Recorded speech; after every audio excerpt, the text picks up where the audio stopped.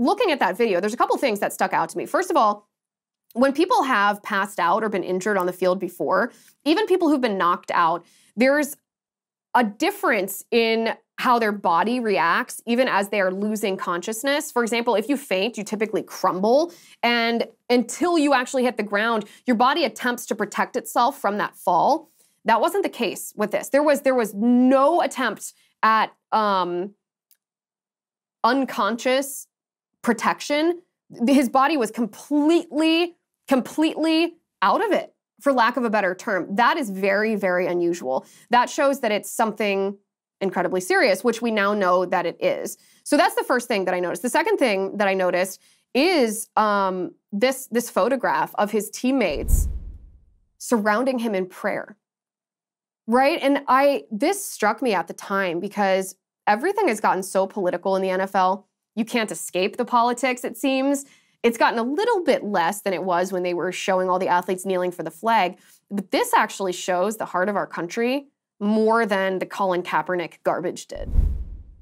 This shows that the American people, even even these football players might be majority leftist. That's very possible. They might be they might be liberal. They might they they might as Colin Kaepernick claimed, most of them might believe the Black Lives Matter narrative. I don't know. But this shows that at our core, we are still a believing nation. We are a nation that believes in God and believes in the power of prayer and believes in using that prayer to intercede for each other. And that's a moment that, regardless of everything else we're going to talk about or what, how this might unfold, that we should not forget. In fact, this is something that I never thought I never thought I would see from ESPN on air. An ESPN host said a beautiful prayer for Damar Hamlin. Take a look at this you know, like this is a little bit different. I heard, I've heard it all day, like thoughts and prayers. And you just heard Scherff and Jonathan Allen say like all we can do is pray for him. And I've heard the Buffalo Bills organization say that we believe in prayer. And maybe this is not the right thing to do, but I want it's just on my heart that I want to pray for. It is. Damar Hamlin right right, right now. Um, I'm going to do it out loud. I'm going to close my eyes. I'm going to bow my head, and I'm just going to pray for him.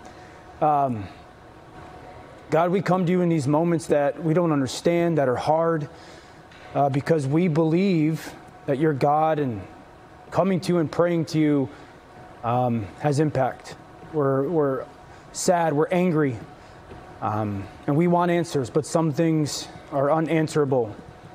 We just want to pray, truly come to you and pray for strength for Damar, for healing for Damar, for comfort for Damar, to be with his family, to give them peace if we didn't believe that prayer didn't work, we wouldn't ask this of you, God.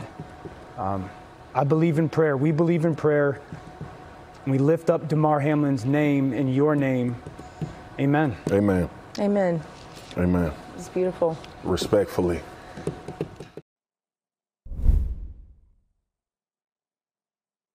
Amen. Think about the audience, the huge audience that saw that prayer, that took part in that prayer.